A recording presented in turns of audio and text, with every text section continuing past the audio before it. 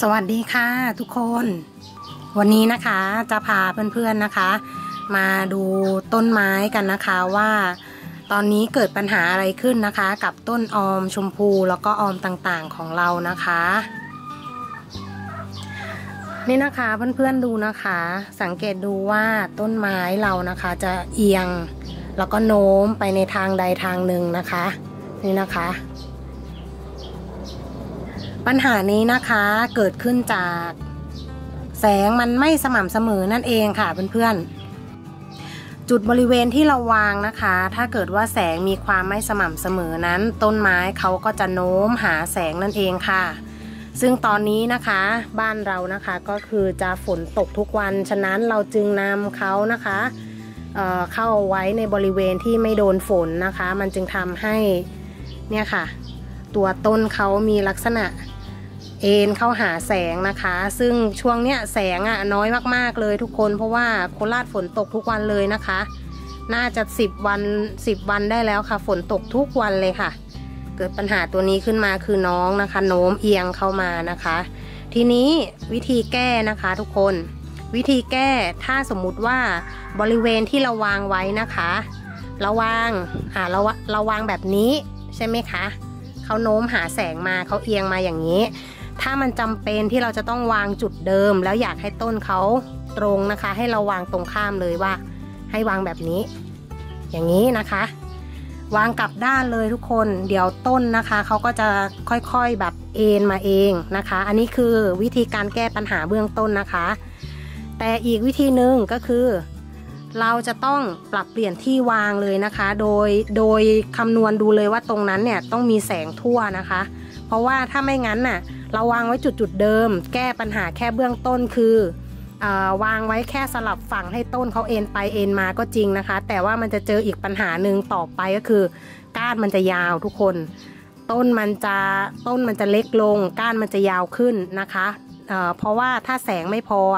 เขาก็จะต้องยืดหาแสงนั่นเองเพื่อนๆ นะ อันนี้เอามาเล่าให้ฟังว่าตอนนี้ป้อมเจอปัญหาอย่างนี้ ถ้าเพื่อนๆเจอแบบเดียวกันนะคะ ให้ปรับให้แก้ตามตามที่บอกไปเลยนะคะ เดี๋ยวตัวนี้นะคะป้อมก็จะต้องเปลี่ยนที่วางนะคะ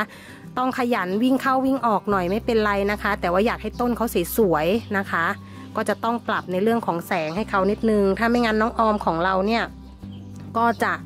เกิดปัญหานี้ได้นะคะ ต้นเอ็นไปแบบน่าสงสารเชียร์ดูสิ เอ็นไปอย่างเงี้ยนี่ป้อมก็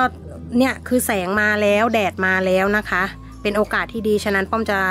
เอาเขามาวางในบริเวณที่แสงทั่วๆนะคะ โดยหันฝั่งนี้นะคะ ถ้าแสงมันเข้าด้านนี้ก็ให้หันฝั่งนี้สู้นะคะ เดี๋ยวเขาจะเอ็นมาหาเองนะคะ นี่นะเป็นวิธีการแก้ปัญหาเบื้องต้นเลย แล้วก็เรื่องหน้าฝนนะคะเนี่ยดูเขาโดนน้ำฝนทุกคน เพราะว่า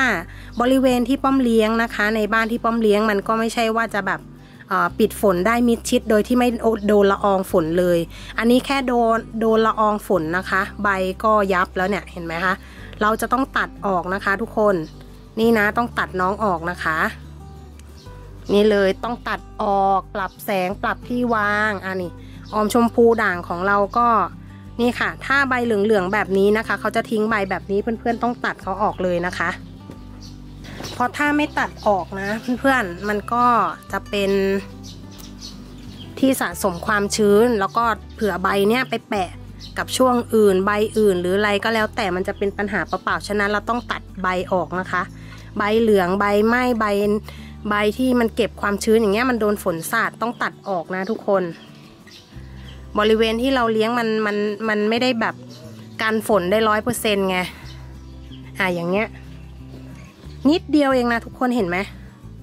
เนี่ยมันนิดเดียวเองแต่ยังไงป้อมต้องเล็มออกเดี๋ยวมันลาม แล้วก็มันจะไหม้ทั้งใบเลย อันนี้ก็ต้องเอาออก